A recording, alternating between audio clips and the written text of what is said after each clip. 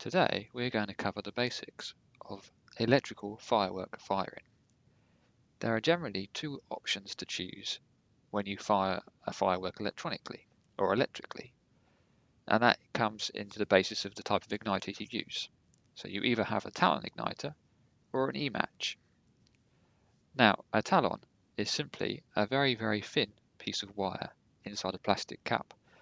Now when that wire gets uh, when, when you fire it, which means you, you put a very large current across that very, very thin piece of wire, it, it basically glows red hot.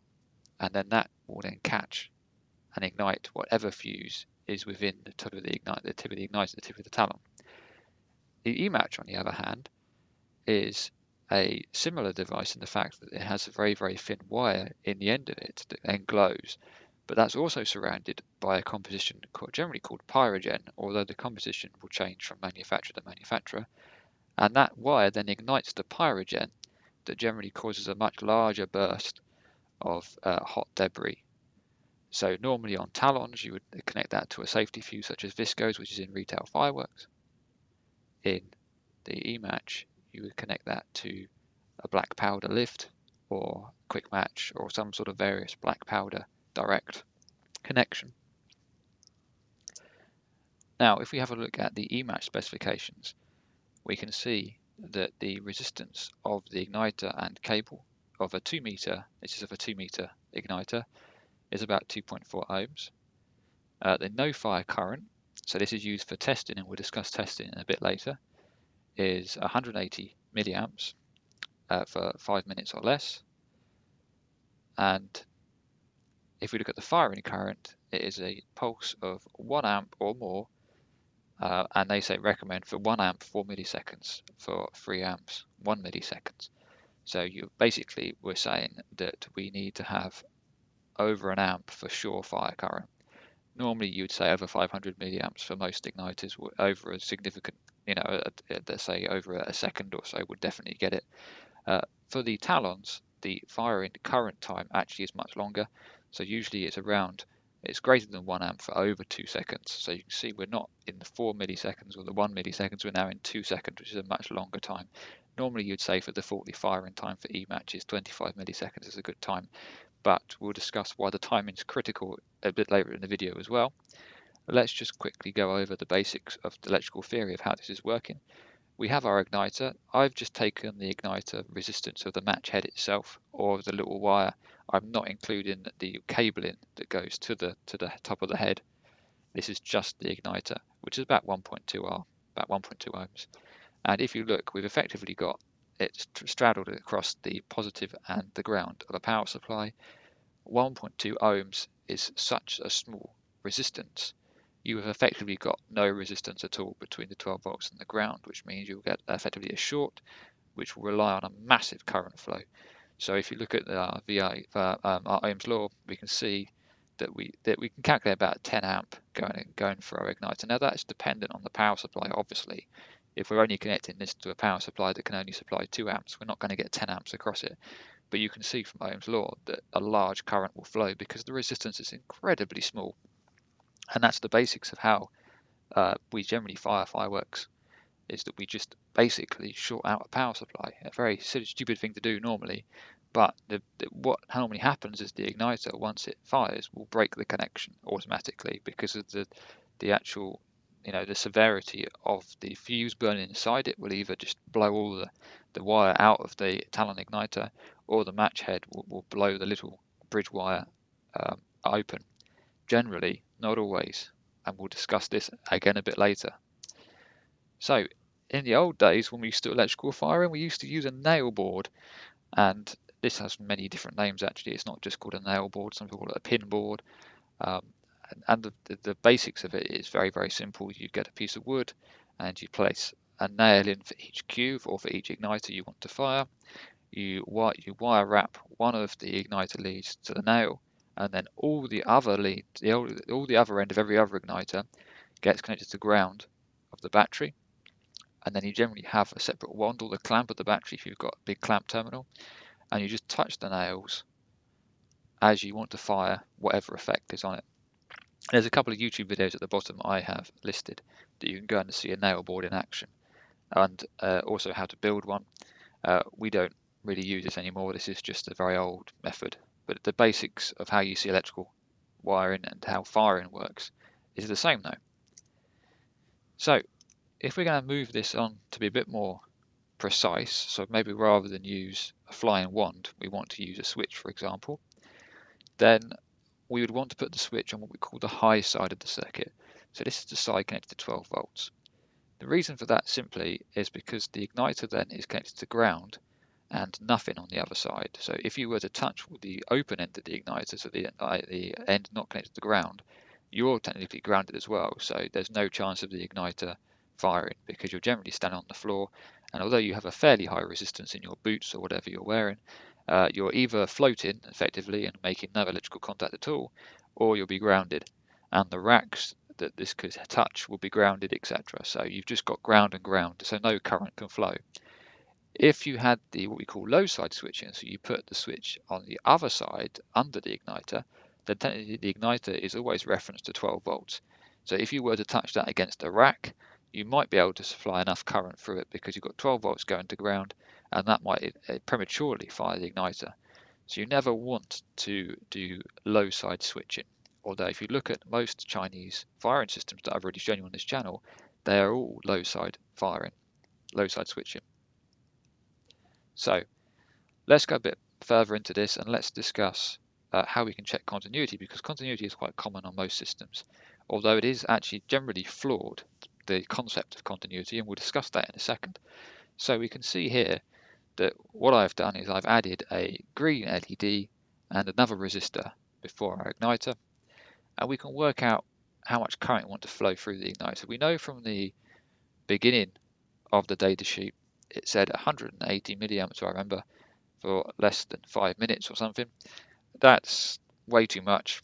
We'd normally test an igniter between 5 and 15 milliamps. Old systems used to use 25 to 30 milliamps or up to 50 milliamps depending on what system you're using but we generally go for the smaller current these days and let's just look at Ohm's law because it's fairly obvious but we need to be a little bit wary about how we're doing this because uh, usually when you do these formulas you are working out the uh, the current flowing through the LED so if we look at Ohm's law V over I so 12 minus 2 volts the 2 volts is because you've got a, a voltage drop over the diode that's what's also known as the forward voltage of a diode and for a green LED that's about 2 volts. It will change depending on what diode you use.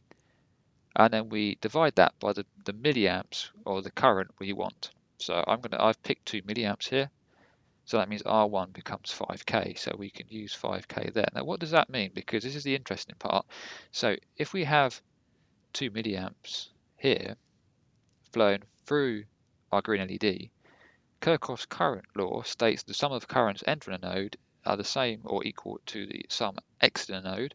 So if there is our node, we know that we also have 2 milliamps flowing here through the resistor. And we've got another node here, and we've got 2 amps entering it, so we know there'll be 2 amps exiting it, which will mean we have 2 amps flowing through our igniter there. So we can use this R, R1, to actually change the current flowing through the igniter. So we could make that 5 milliamps if you want, or 10 milliamps. And that will also change the intensity of the LED as well, because it's all in the same series circuit. But realistically, what we want to do is I don't necessarily care too much about the LED, it's the igniter that I care more about. And when you prioritize electrical design, this is quite common. We know for an LED, you probably save up to 20 milliamps, but we don't want to put 20, amp, 20 milliamps for it. We want to put as little as possible for it because we don't want to put too much through our igniter. The less you can put through the igniter, the better, really. And again, we can see we've put our high side uh, switch in and you can see what I've done is I've connected it from the 12 volt rail down to this junction here. So what happens is we're effectively, when we press the switch, we short that out. So 12 volts now, the power supply will look like 12 volts is actually here at this junction, straight across the igniter. So a large current will flow through the igniter when you push the switch because we've effectively shorted out the LED and the current limiting resistor. So when we think about electrical firing, we need to think of some considerations. So cable length to and from the igniter will increase series resistance and create a voltage drop. So we need to make sure that we don't have too long of cables from our power source to our igniters. Otherwise that in turn will lower our potential firing current and possibly mean it won't fire at all. So that means our firing current source should really be as close to fireworks as the possible. And if you look at most modern firing systems, such as the uh, the small Chinese system or Cobra or Fire One, it's all designed to be sitting next to the fireworks because that is where the current source is. Um, now, continuity does not distinguish between a properly wired igniter and a short, for example, or a highly resistive circuit. So just because you have continuity does not mean the igniter is going to, to actually fire, because if it's a shorted, if it's still shorted, so you've twisted, you've kept the twist in the ends of the E-match, then it, then obviously the current will flow through the short and not through the E-match head. So continuity can give false confidence. So really this is where resistance checking is more important. And if you look at uh, any sort of explosive demolition, uh, they do not use continuity checking. They will actually use resistance checking on all of their firing lines, their blasting lines, to make sure that the resistance is correct. Because by the resistance they can see, if they know they have X number of detonators on the line, they know there'll be X amount of, of voltage drop across all the cabling, then they'll know the resistance effectively, because they could also work out the resistance sorry, from the cabling as well. And so therefore, if you have one less detonator, then it will show up because you have a, a lower resistance. Or if you've connected two more detonators than you missed from a different blasting line, then obviously that will show up as a, as a difference in the resistance as well. So in fireworks, we're a bit careless really and just use continuity. But there are better ways of doing it. But the cost increases obviously if you want to do that. Um, so also we have to be careful about firing more than one channel at once on a firing system because if you have a short on one of those channels or one of those cues, generally you will find uh, a large current will flow through the short because it's less resistive than the other igniter in the other cue. So the other igniter may not ignite if you have a short existing on one of the cues uh, that are being fired at the same time as another cue. That is often referred to as being a current thief because the short route takes all the current basically and there's not enough to fire the other igniter. And obviously at the bottom there I've said about supplying the firing current for less than the surefire time will result in failures. So you have to make sure you check the data sheet and you get the correct amount of timings for it. So the next thing we want to look at is how do you actually create a system where the current thief scenario isn't a problem. If you fired more than one cue and one was short how can we prevent it? And if you look at this system, what I've done is I've included a high watt resistor, a very low, a very low resistance, but very high wattage, and that's important. So we have a 5R resistor in series with our igniter. So if our igniter ever goes short circuit and we fire that, we've still got a 5 ohm resistor in that line. So it will not pull all the current because you've got the resistance of 5R in there and not a short and you can work out the the uh, the wattage you need for that. It's quite large on those resistors.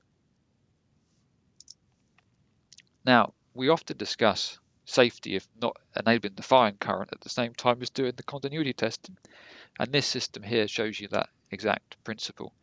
So if you look, we have our igniters and our continuity check in series are from the 12 volt supply, but then separate to that, the actual supply to our switch is now from a well this is this is a, a, magnetic reed switch up here but that could be a key switch it could be anything. So without this being enabled pressing the buttons won't do anything okay? So you'd have to enable firepower before you can then press the firing switches and that would actually fire the igniters. I've also included a warning when firepower is enabled by a red LED in the side there and that's good practice so when firepower is enabled, you have a visual warning as well as obviously a physical system of arming it. So could you do more than one cue without creating huge replication of hardware? And the answer is yes.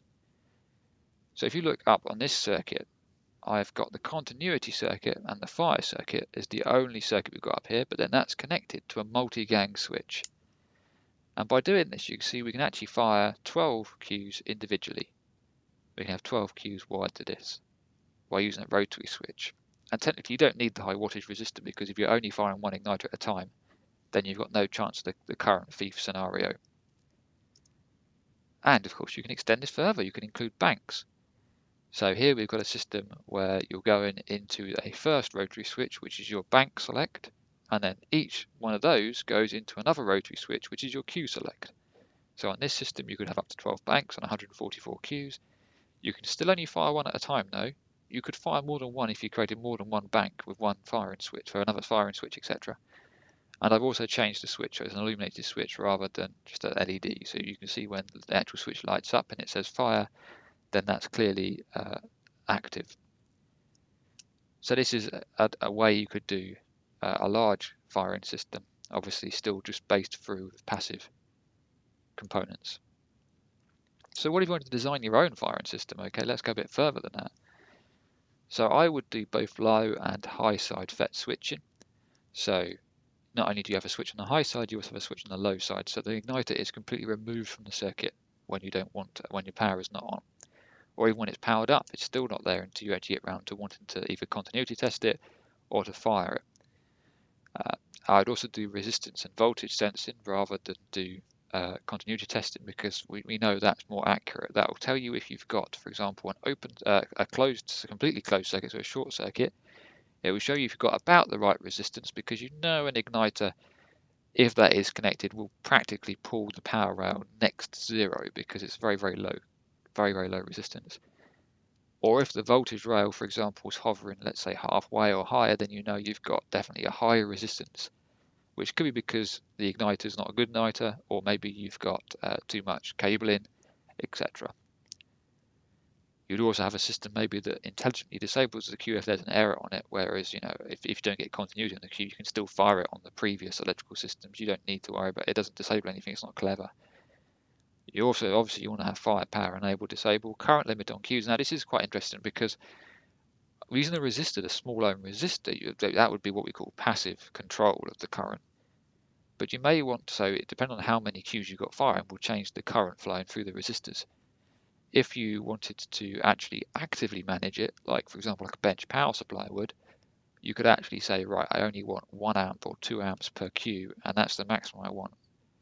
It would take some extra circuitry. You'd need to figure out some uh, some transistors and that to do that, but that's perfectly possible as well. And you may want to put a very large local capacitor in to maintain the firing voltage, because the danger is with this is that when you fire, uh, the power supply will try and collapse in order to try and push as much current through the circuit as possible. And if you're firing over long cable lengths, the last thing you want to do is when you fire is have your voltage drop because then suddenly uh, you have less voltage basically across all your firing lines, um, which could then end up causing failures. So you don't want that either. So that really is a very, very quick look at firing systems and the electrical side of firing systems. I'm hoping in future videos we'll look a bit more at the electronics side of firing systems and how we can make our own firing system. Uh, I'm not saying we should go into competition with other firing systems. I'm just saying from a, a sort of an educational standpoint, we could look at how we could use firing systems, etc., and design them, and the processes involved and the dangers. But until next time, I hope that was useful.